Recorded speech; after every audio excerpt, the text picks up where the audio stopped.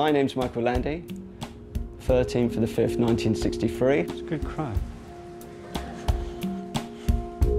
What kind of artist am I? What kind of artist am I? What kind of kind of question is that?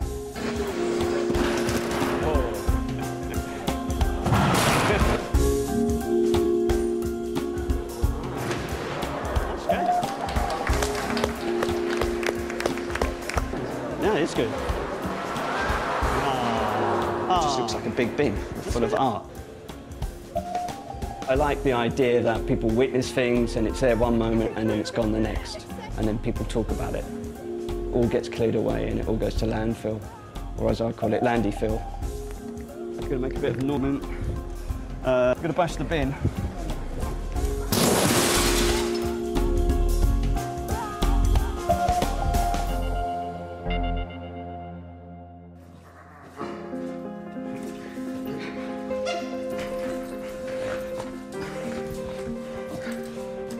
As a child, I used to like taking things apart, but I think all children like to take things apart. so you want to have a greater understanding about how things work, basically. So obviously, I've always been interested in rubbish, you know, because it's basically just the leftovers from us, really. It's kind of like dead matter.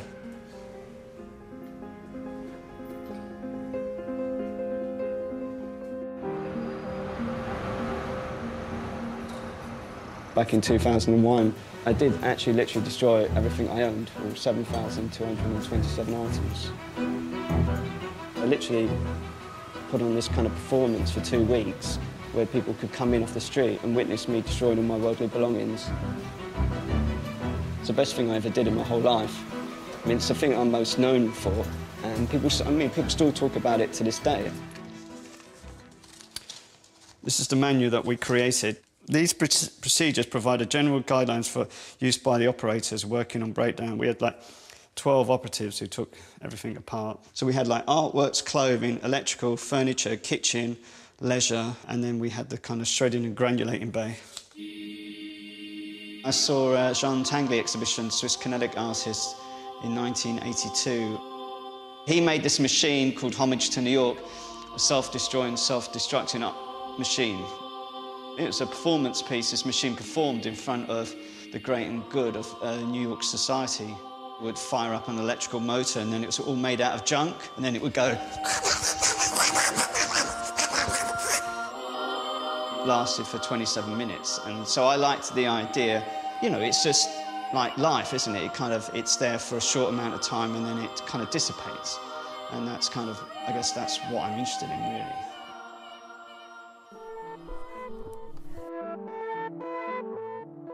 Yeah, my dad, he was, um, we came over to um, London from Ireland in the late 50s and became a tunnel miner, which is like building parts of London Underground and sewers. He was, you know, tunnelling underground. And literally, um, you know, the um, tunnel uh, collapsed. And he was literally being buried alive. He had um, all sorts of spinal injuries. He was in like traction for about six months. They said he was never going to walk again. I was a child when it kind of happened. So I guess that did actually inform the kind of issues I'm interested in as an artist.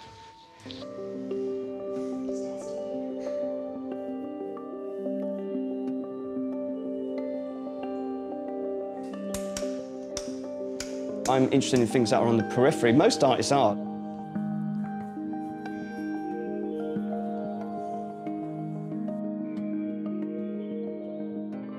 Intrigued about what our society gives value to and what our society doesn't give value to. So like weeds are a nuisance, people dig them up, you know, they're basically a plant out of place.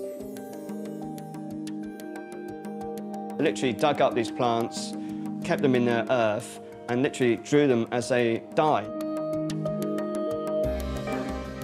Mean, they're just on superimposed on a, on a white piece of paper, and they're very kind of fragile because you can get very beautiful lines with um, an etching needle. They're in and amongst all the rubbish on bits of wasteland. They're very entrepreneurial. They'll just find bits of wasteland to grow, and that's what I really liked about them. They're a nuisance in a sense, but I found them symbols of optimism.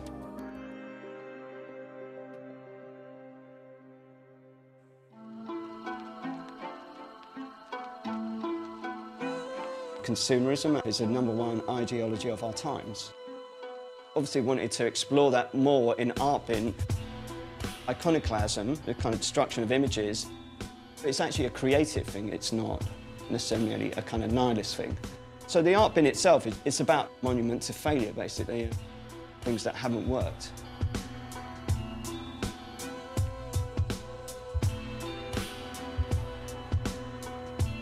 I always like the idea of like if we could have just picked the art bin up at South London Gallery, put it on a flatbed lorry and like taking it to all sort of different museums all over the world.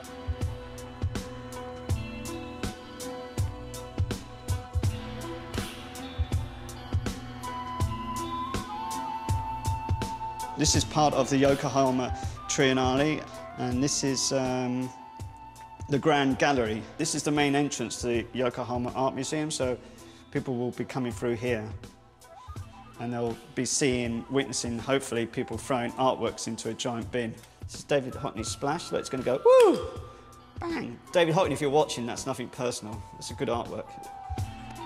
It's literally open to everybody, amateur, professional, well-known, completely unknown. Once the works enter the bin, then they all have the same value in a sense. They all become one huge artwork in a sense, and I like it when the artworks start to crash into each other and merge into each other and shatter onto each other and pierce each other. And, um, well, it just looks like a big bin with full of art. So, um, and that's what I like about it, is when it starts to become a mass of stuff.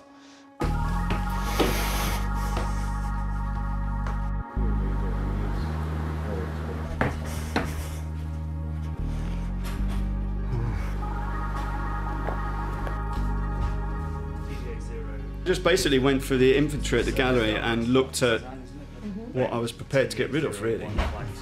Oh, that's Louisa Buck. I like to keep them in their frames because obviously when you throw them in the bin, they make a really nice, the glass will make a really nice sh shattering sound. Every now and again, it doesn't look like them. That's Gordon Watson. He never liked his portrait. Did he not? No. Well, I recognised It's it just straight away. yeah, exactly. Thank you. it's just um, yeah, his head is a lot smaller in the drawing than it is actually in real life.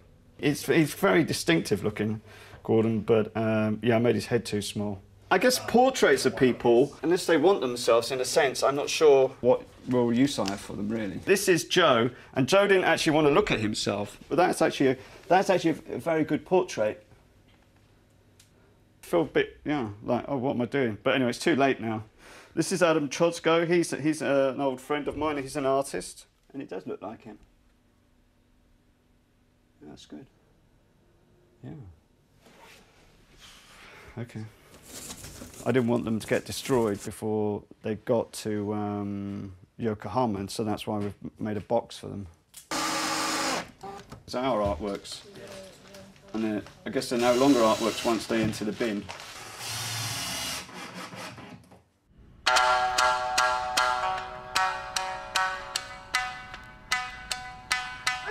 I think the, the works that are thrown in the bin, I wouldn't call it junk as such. It's kind of like, it's our leftovers. Previously, you know, I had Tracey Emin throw things in the bin, Damien Hirst throwing the bin, you know, and people are kind of equate some of what they do with like uh, with value, and so I like I really love the idea of people could like throw valuable artworks into the bin. That's what I really liked. And then people thinking, Christ, what a waste. So, I mean, if I could get out that Damien Hirst, I could pay for my extension or, or, or a Rolls Royce. I'm normally preoccupied with my new ideas, but you get to a certain age where you have a kind of back catalogue, and so you end up following the work around the world. It's a good cry. The whole theme of the exhibition is actually oblivion, so it really fits in to the whole thing. Yeah. Quite like it, like it is literally you're staring into oblivion, so I, that's why I wanted it really tall, so you're really staring into the abyss. So you're really like throwing it down, as opposed to the other one you threw it across. As this one, you're literally going to throw it down. So that's what I really like about it. So it's like an endless pit, really, of failure. Already there are more than uh, uh, 50 artists who are coming. They are already very excited to participate in this art bin and also interested in. And some of them are uh, still looking for from far. And Yeah. yeah, they want to see what will Yeah, happen. that happened in uh, England as well. There were some artists kind of interested, Mm-hmm. And but they kind of had to go come and see it to feel kind of. they- They just literally wanted to see it, Yeah, and yeah, they yeah, felt just a the bit same, more yes. Mm-hmm. comfortable about the whole thing. Yeah.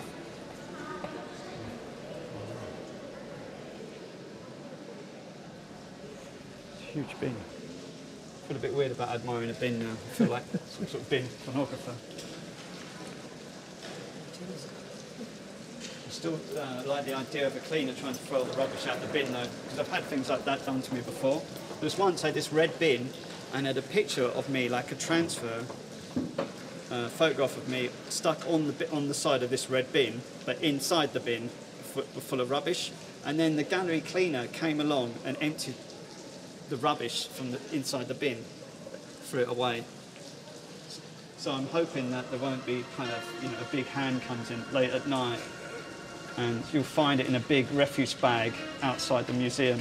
Do you like this new art bin? Do you like It is great, yeah. It looks more like a bin this time. The last one looked more like a skip. Uh, I uh, wanted to uh, show this big art bin in the center of the museum, so I could uh, realize uh, this. So I'm No, no, thank you very much. Because it is, like you say, like the Sea of Oblivion. a little bit sad, but uh, so a little bit uh, mm, ecstasy. Yeah, of course. Tell me about your artwork. Uh, For art bin, my yeah, work yeah.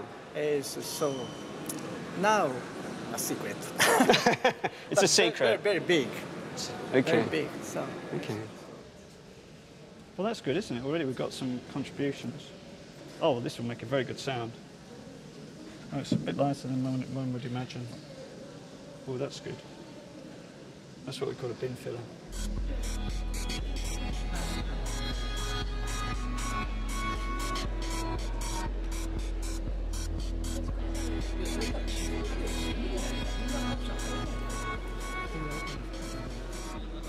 At the moment, it's, it's just a bin, but once people start throwing works into the bin and the audience start coming through the doors, that's when it all comes to life, really.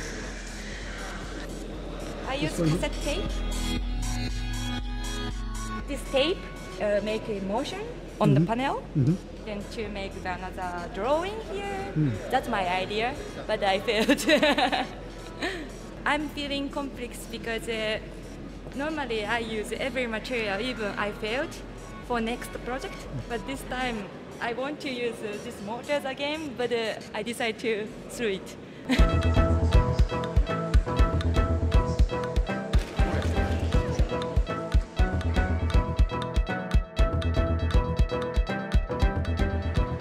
Didn't they like it? No. What did you give them instead? Uh, something. Actually, something much nicer. Yeah, It's going to fly. it's- Let's hope it doesn't fly yeah, out yeah, of the sure. bin. I held a funeral service. Oh, okay, My work is okay. this is my work. Wow, okay. It's all part of the work. Yes, yes. Yeah, yeah, it's like a coffin. The name of this work. Okay, thank you. Thank you very much. I'm throwing away a, a broken teapot. A photograph of a broken teapot. It's a very famous teapot. It's a teapot designed by Wagenfeld, the German Bauhaus designer who worked a lot with glass. It's a, it's a long way down. Yeah, it seemed to have a sort of nice, a nice poetic resonance in relation to that, to that gesture. Yeah. Thank you. Um, this is Art Bin, and um, I did a very similar one, but a slightly bigger bin, at the South London Art Gallery back in 2010. So if anybody knows of anyone out there with any uh, artistic failures, then this is the place to put it. Um, thank you very much.